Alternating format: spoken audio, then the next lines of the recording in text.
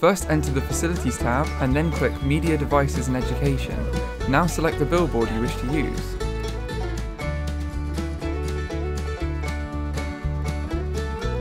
If you click the billboard, you'll be able to set a default texture.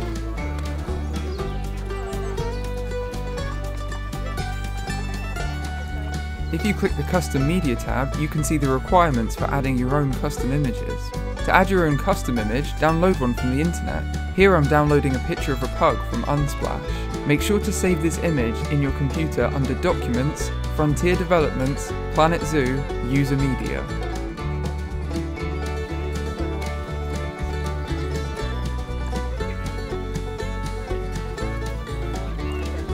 And that's what every zoo needs. Please like and subscribe if you found this video helpful.